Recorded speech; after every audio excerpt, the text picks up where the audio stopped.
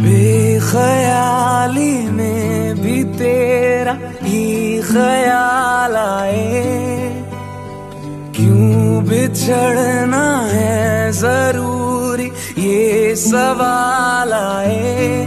तेरी नजदीकियों की खुशी बेहिसाब थी हिस्से में फासले भी तेरे